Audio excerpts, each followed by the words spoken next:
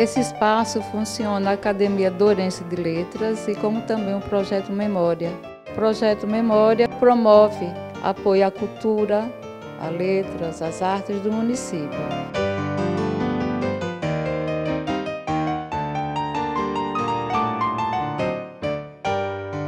Bom, dentre tantas ações né, do Projeto Memórias, eu acho que o da, das procissões de devoção à Paixão de Cristo em nossa cidade foi uma das mais importantes, porque hoje, graças ao empenho do Projeto Memórias, é patrimônio cultural e material do Estado.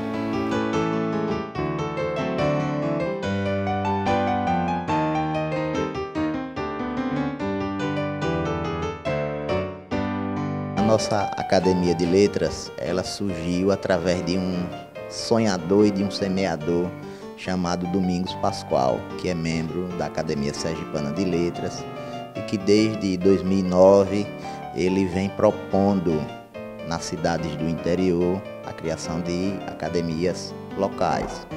Então, em 2010, ele, em um evento do projeto Memórias, percebendo a nossa produção literária, propôs que criássemos uma academia em Nossa Senhora das Dores.